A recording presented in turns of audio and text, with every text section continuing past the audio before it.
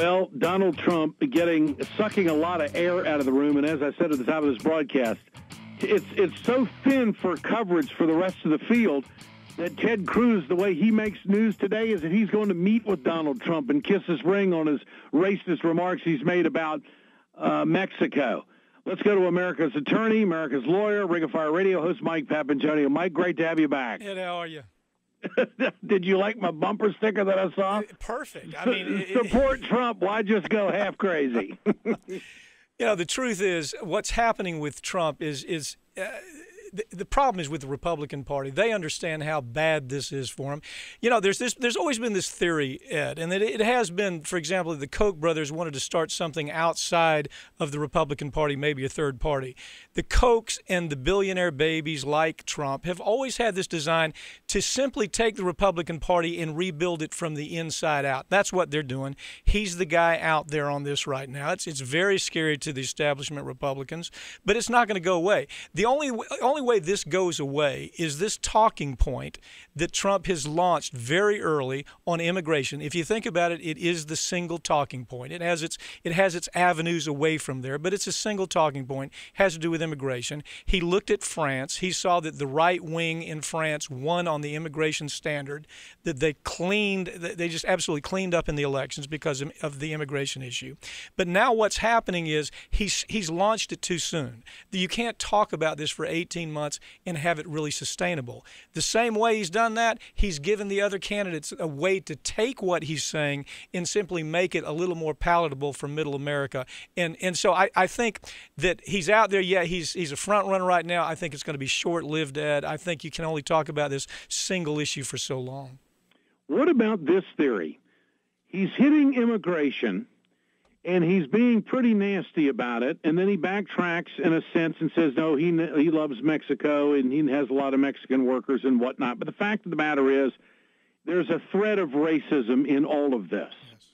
And he's polling well because that really is accusatorily at the core of many right wingers is it is racism. It's Willie Horton. And, and I and I think that the field is so big and split up so much that Trump early on is out in front of all of them because he's tapping into a card of hatred that you do find in the Republican Party. That's what I think. Well, Ronald Reagan had to dress up racism, and that's why he went to Philadelphia to to launch his presidential cycle. But that's what it was about racism.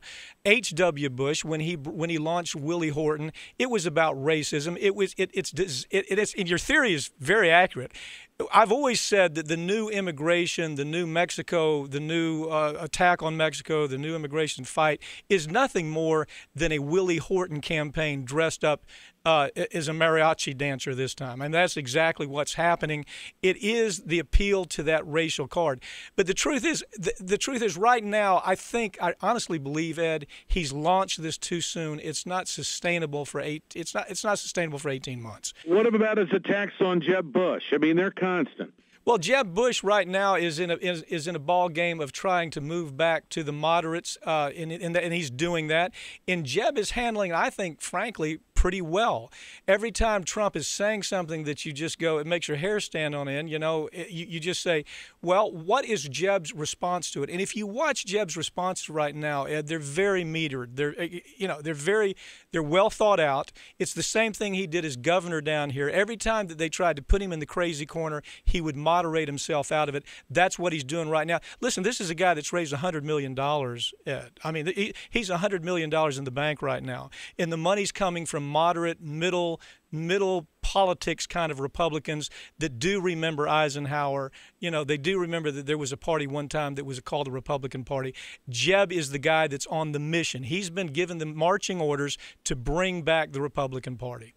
And so that's the fight. That's going to be the fight, obviously. And I think Jeb's going to win in the end because moderation he is very good at. You can be very critical of Jeb for a lot of reasons, but this is a smart guy where it comes to working his way out of the crazy corner back to the middle. Well, you know what? He is acting presidential. I give him that. I mean, there's no doubt about that.